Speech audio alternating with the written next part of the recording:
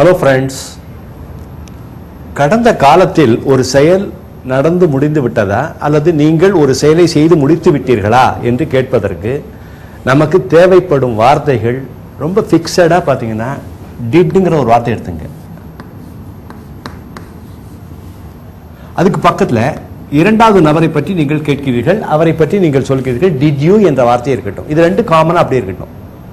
யார்கிட்ட இந்த கேள்வியை கேட்குறீங்களோ அந்த கேள்விக்கு ஏற்ற மாதிரி வார்த்தைகளை மாற்றிங்க டிட் யூ போட்டிங்களா? சரி. இதுக்கு பக்கத்தில் ஒரே ஒரு வேர்பு அதாவது ஒரு வினைச்சொல்லை சேருங்க. ஒரு செயலை சேருங்க. செயல் என்பது வினைச்சொல். ஓகே சரி இப்போ ஒரு ஒரு விஷயமா பார்த்து வரலாம். இப்போ ஒரு விஷயம் நான் அடிக்கடி மறந்து போயிடுறேன்ப்பா. எனக்கு கொஞ்சம் தயவு செஞ்சு ஞாபகப்படுத்து அப்படின்னு சொல்றதா இருந்தா ப்ளீஸ் ரிமைண்ட் மீன்னு சொல்லுங்க. ப்ளீஸ் ரிமைண்ட் மீ இப்போ ரிமைண்ட் என்று சொன்னால் ஞாபகப்படுத்து என்று அர்த்தம். ரிமைண்ட் என்று சொன்னால் ஞாபகப்படுத்து. ப்ளீஸ் ரிமைண்ட் மீ எனக்கு தயவு செய்து நினைவுபடுத்து. அப்படின்னு சொல்றீங்க. கரெக்ட்டுங்களா இப்போ நீங்கள் அடுத்தவங்களை பார்த்து கேட்குறீங்க ஏன்பா?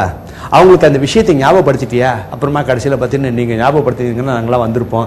ஏன் மறந்துட்டீங்கன்னு சொல்லிட்டு நம்மளை குறை சொல்ல போகிறாங்க அவர்களுக்கு நீ அதை நினைவுபடுத்தினாயா என்று கேட்பதற்கு ரொம்ப ரொம்ப சிம்பிளாக கொஞ்சம் கவனிங்க. அவர்களுக்கு நீ ரிமைண்ட் பண்ணிட்டியா அப்படின்னா என்ன பண்ணுங்க? டிட்டு போடுங்க. யூ போடுங்க. டிடி போட்டிங்களா? அதே R E M I N D போடுங்க. Remind them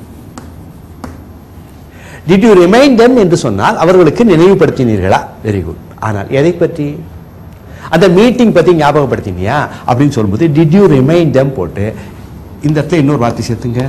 அபவுட் போட்டு த போட்டு மீட்டிங் அவசரப்படாம பொறுமையாக நோட் பண்ணீங்க. Did you remind them about the meeting என்று சொன்னால் அந்த மீட்டிங்கை பற்றி நீ அவங்களுக்கு ஞாபகப்படுத்தினியா? புரியுதா? Did you remind them about the meeting did you remind them about the மீட்டிங்னா meeting பற்றி அவங்களுக்கு ஞாபகப்படுத்தினியா கரெக்டுங்களா சரி இப்போ கொஞ்சம் கவனிங்க. இதுக்கு எஸ் ஆர் நோ டைப் கொஸ்டின்னு பேர். என்ன சொல்கிறோம் ஆம் அல்லது இல்லை என்ற பதிலை எதிர்பார்க்கும் கேள்விகள் இவை. ஆம் அல்லது இல்லை என்ற பதிலை எதிர்பார்க்கும் கேள்வி இது. இதற்கு எஸ் என்று சொல்லலாம் சாரி என்று சொல்லலாம். சாரிப்பா மறந்துட்டேன் அப்படின்னு. இப்போ கொஞ்சம் கவனிங்க. இதுக்கு நான் சுத்தமாக மறந்தே போச்சுப்பா எனக்கு. அப்படின்னு சொல்லணும். இது எப்படி சொல்லலாம்? இப்போ எல்லாத்துக்குமே நமக்கு ஒரு விதைச்சொல் வேண்டும். இல்லையா? இப்போ நான் அதை சுத்தமாக மறந்துட்டேன். தமிழில் சொல்லும்போது என்ன ஐயோ சுத்தமாக மறந்துட்டேன். அடியோட மறந்துட்டேன். எப்படி சொல்கிறது உண்டா இல்லையா? அப்போ என்ன பண்ணீங்கன்னா ஒரு விஷயத்தை மறந்துடு அப்படின்னு சொல்கிறதுக்கு ஃபர்கெட்னு ஒரு வார்த்தை யூஸ் பண்ணுங்க. ஃபர்கெட்னா மறந்துடு. ஓகே இதோடைய பாஸ்டன்ஸ் இதை தான் சக்ஸஸ்ஃபுல்லாக மறந்துட்டீங்களே? ஐ ஃபர்காட்னு சொல்லுங்கள் புரியுங்களா இப்போ ஃபர்கெட்னா மறந்துடு. ஃபர்காட்னா மறந்தாச்சு. இப்போ என்ன பண்ணணும்னா இப்போ என்ன சொல்லணும் sorry sorry I forgot it என்று சொல்வதோட தமிழில் ஒரு வார்த்தை சொல்லுவோம். நான் சுத்தமாக எனக்கு மறந்தே போச்சுமோ சுத்தமாக ஐ போடுங்க. I completely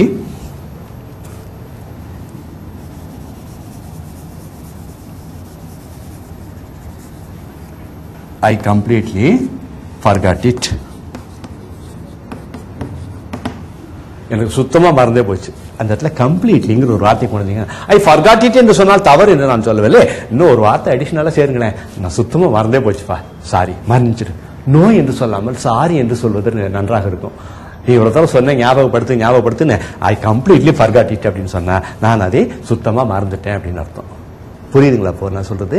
இப்போ அடுத்து பார்க்கலாமா? இப்போ இன்னைக்கு நம்ம ரெண்டு வார்த்தை பார்த்துருக்கோம். ஒன்று ரிமைண்டுனா ஞாபகப்படுத்து ஃபர்கெட்னா மறந்துடு ஃபர்காட்னா மறந்தாச்சு. ஈஸியாக இருக்கா? சரி இப்போ கொஞ்சம் கிளம்பி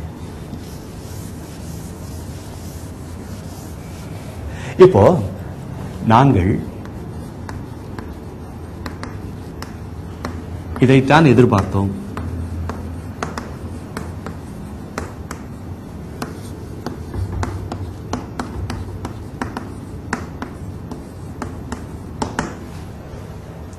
நாங்கள் இதைத்தான் எதிர்பார்த்தோம் என்று சொல்ல வேண்டும். ஆ? இதை எப்படி சொல்லலாம்? இங்கிலீஷில் சொல்லணும். நாங்கள் இதை தான் எதிர்பார்த்தோம். எப்படி சொல்லுவீங்க? கொஞ்சம் யோசனை பண்ணி பாருங்க. அடுத்த ப்ரோக்ராமில் சொல்லுங்களேன். எங்கே போயிட போகுது? ஓகே மீண்டும் நாம் அடுத்த நிகழ்ச்சியில் சந்திப்போம்.